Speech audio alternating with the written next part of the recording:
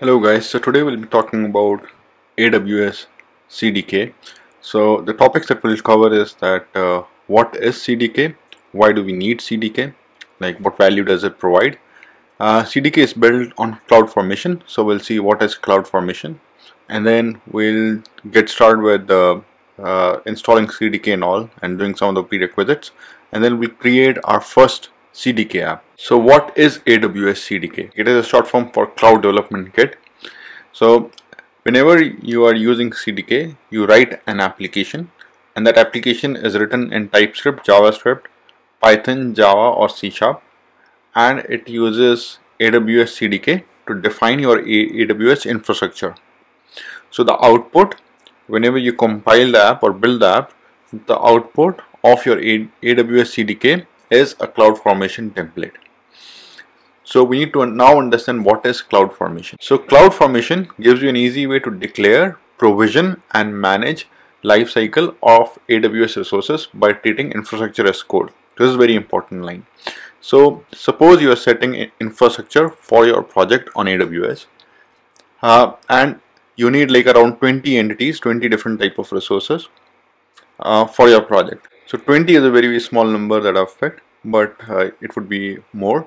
So if you're creating all of these resources manually, it is very easy to forget like what all those resources were and to repeat it it's pragmatically not possible right? You can't repeat it like do the same thing manually in the same order again.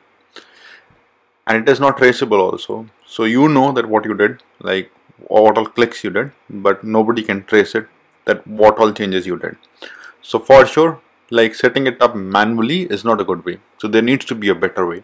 So the better way is writing your provisioning as code like provisioning and creating of the infrastructure as code and then allowing one of the tools to create the infrastructure for you. And that is what CloudFormation is and this is provided by AWS there are numerous other tools that provide the same thing. By the way, if you're liking the video so far, please subscribe to my channel and hit the like button because it motivates me a lot. So let's look at the cloud formation template which I have with me. This is the template. It's a JSON format. The template could be also in a YAML format.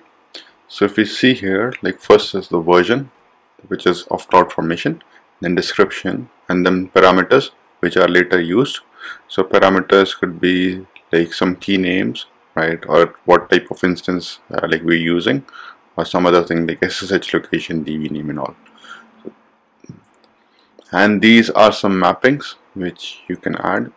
And then is the important part which is the resources which you will be using like in, in the as infrastructure right? So here you have security groups. So you are declaring these security groups and you declare the type. Similarly you say you want a web server it just uh, you give a logical name. And this is the type which is EC2 instance. And uh, you run some WordPress install command and all. And uh, if we just minimize this web server right? And at the end you want to output that uh, your uh, your WordPress is running on this port and all right? Uh, other thing to note here is like to do some of uh, like arbitrary like uh, non-trivial stuff you have to use some commands which are again passed in a JSON format. Like here we're passing function JSON like join and then you pass the arguments. So this is not so clear and like means uh, it's not easy to reason for and it's not easy to write. And the and the reason for that is like JSON is a very primitive language like primitive way of representing data. Similarly is YAML. So if we have a higher order language then uh, the stuff that is represented here could be written in a very concise way and much readable way right? So this is where uh, cloud development kit or CDK AWS CDK comes into picture so let's see an example of CDK application. So here I create a CDK application, a very plain one.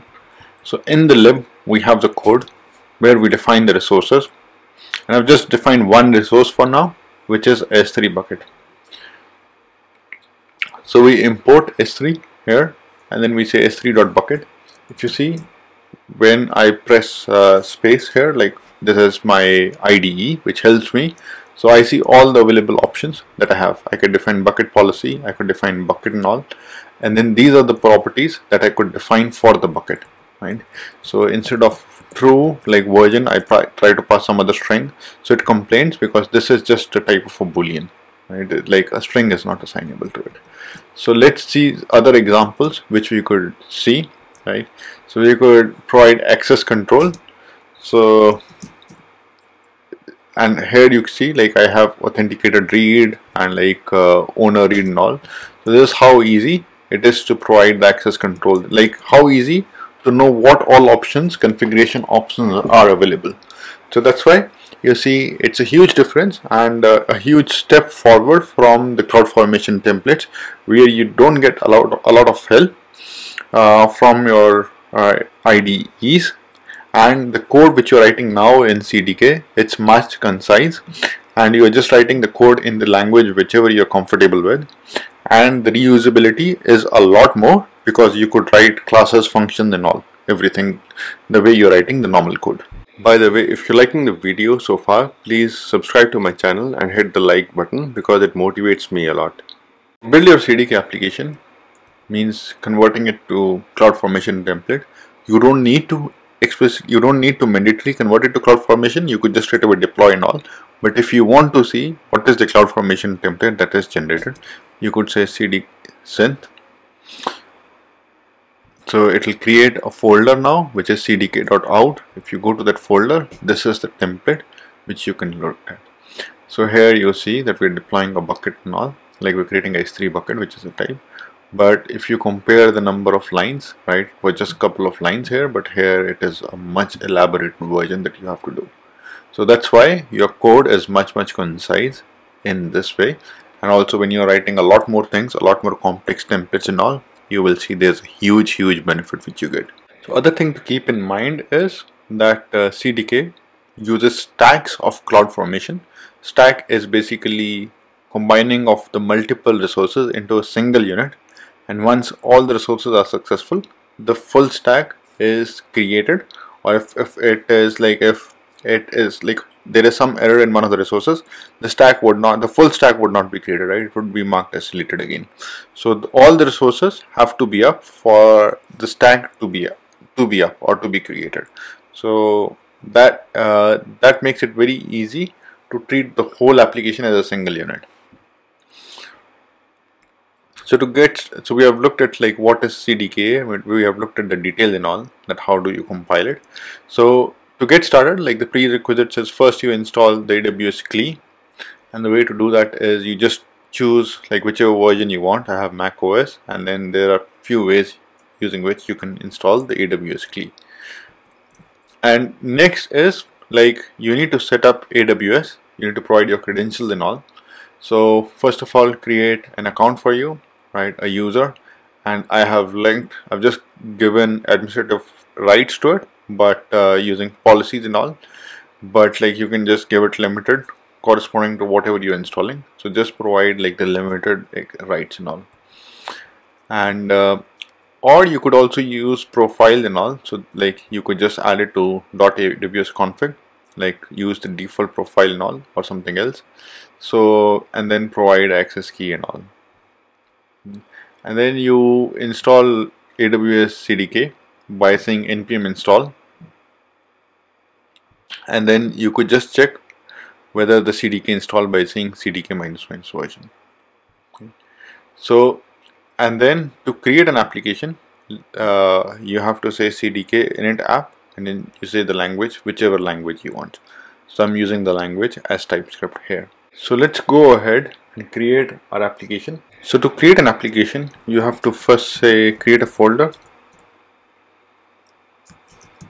So I would say CDK demo. And then that folder have to be has to be empty. Otherwise uh, uh, your CDK util like or the CLI would not create uh, the would not generate the uh, project files and all. So you say CDK init app and then you just say language which is TypeScript in my case. So here it tells you what all things you want to execute and all right? Whether you can say synthesize or you could just say run build compiles TypeScript to JS and all if you want to or you could say CDK deploy which deploys the stack to AWS so I have a couple of AWS profiles and all on my machine so I'll just check out my own one. So I would say profile Robin personal. So now I have to say AWS configure. So it just tells me what's the access key ID which I know is correct and I know the key is also correct. That's the reason which I choose. So let's look at the generated files and all. So this is the CDK demo the project which we created. So it uh, creates the package of JSON and all and all the stuff that you need the basic stuff. And here in the lib it creates the CDK demo stack. This is where you add your code. So I would add AWS CDK slash S3 because that's the uh, bucket that I want to create.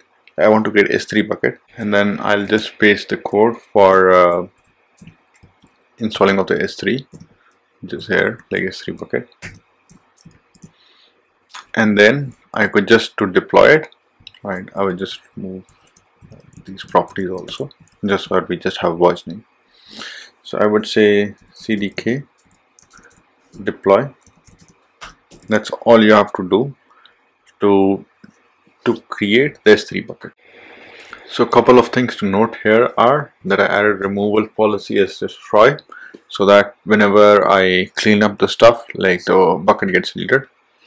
And uh, other thing is like I've imported S3 and all so now I will the first thing that we need to do is we need to say like if first of all if I go to uh, cloud formation and now I don't see anything there's nothing. So it says create a stack that's where it shows this one right? Now I would uh, run CDK bootstrap.